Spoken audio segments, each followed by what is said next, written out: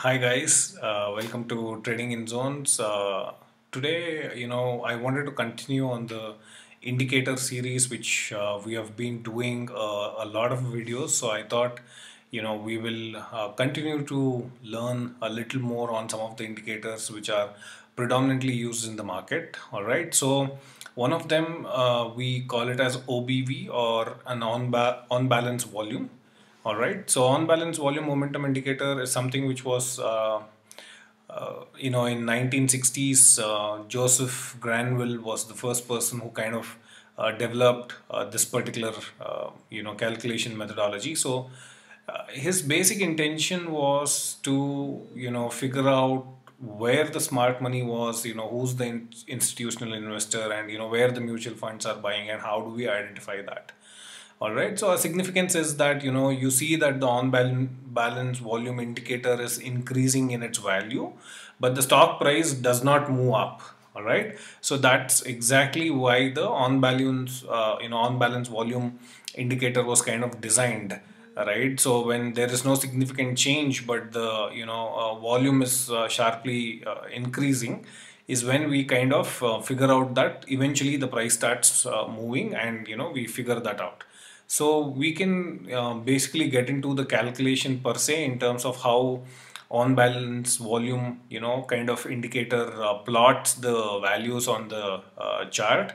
So one of the things which you can here read through very clearly that if today's closing price is higher than yesterday's closing price then current OBV which is the current on balance volume would be previous on balance volume plus today's volume so if the price moves higher, it actually adds the volume. So if price moves lower, lower than yesterday's closing price, then you know you can see that on balance volume is kind of reducing. So previous OBV minus today's volume. So it kind of minuses the volume. So it is so if the price is increasing and you know similarly the previous on balance volume keeps getting added and when the price starts decreasing you will see that the uh, you know on balance volume is deducted out of the previous day. All right so if today's closing price equals yesterday's closing price then uh, current OBV is equal to previous OBV so if there is equal in terms of uh, closing price if there is no change at all uh, then we will see that the uh, you know there is no change at all in the OBV so it remains at the same value so technically that's indicating a flat movement, all right? So, you know, just to give you some examples how the on balance volume uh, calculation works. So if day one closing price was $10 and volume was uh, 25,200, uh, on balance volume is technically zero because this is day one. It just takes that 25,200.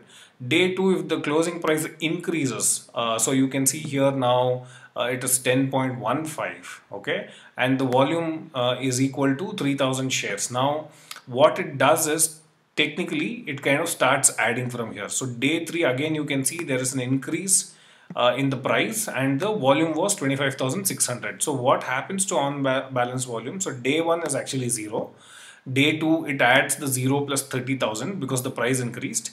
Uh, day 3 you can see again the price increase so it is adding 30,000 plus 25,600 so it is saying that it is 55,600 now.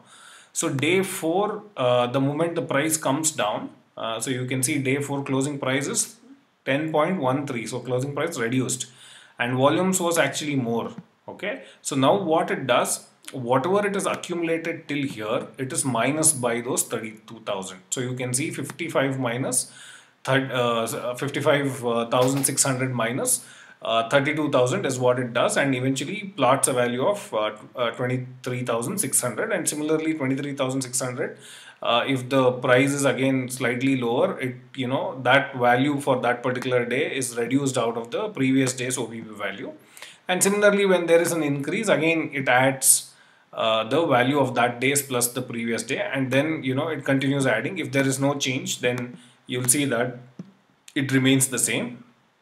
So similarly on a, a day 9, day 10, so there are good examples you can always look at uh, Investopedia. So uh, how do we uh, really look at this, uh, you know, on balance volume is if, if you're uh, really someone who is uh, wanting to look at some of the indicators, you know, I can give you an example of uh, looking at HCL Tech. So you can see that the closing price is slightly increasing. So you can actually add on balance volume on your chart let me just remove some of the indicators which I have added here on my uh, chart. So uh, let me add the on balance volume.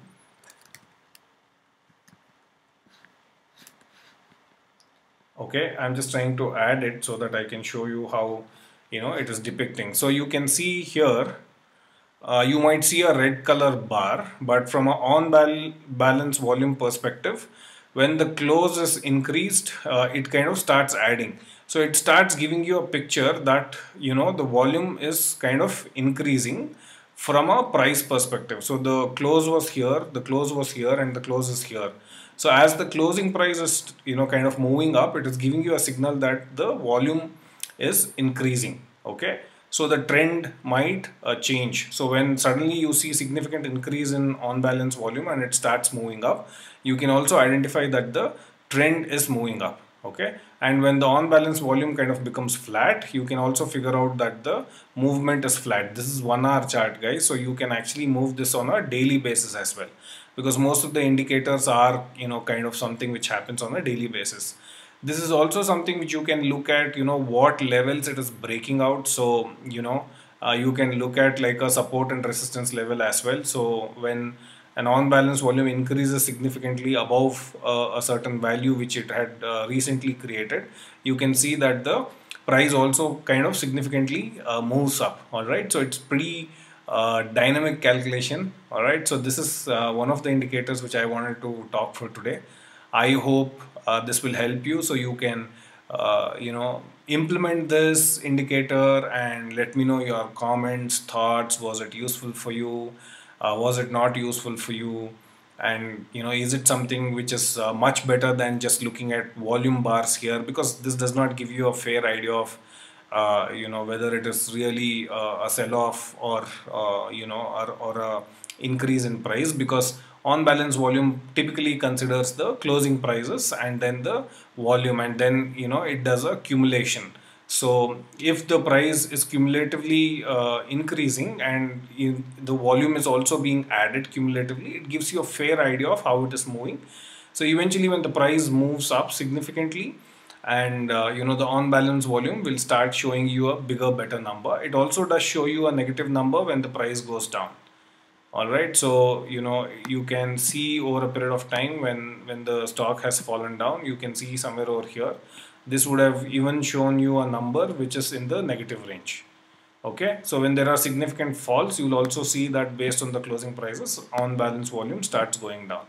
And as it starts increasing you can see that on balance volume starts increasing. All right so one of the great methods which you can uh, you know implement to figure out if if a certain level of support is strong or not you know are the volumes really increasing on the closing basis right and if it is increasing then uh, would it leave that particular zone and move up etc so this has a great uh, potential of uh, moving up all right so go ahead implement this and you know figure out whether your supplies and demands are strong or weak uh, this is one of the indicators uh, which you can definitely use if you're able to interpret it appropriately. All right, so uh, I hope you guys enjoyed learning about on balance volume today. I will do my best to bring more uh, information and knowledge to all of you. Again, as I said, you know, everything works and nothing does.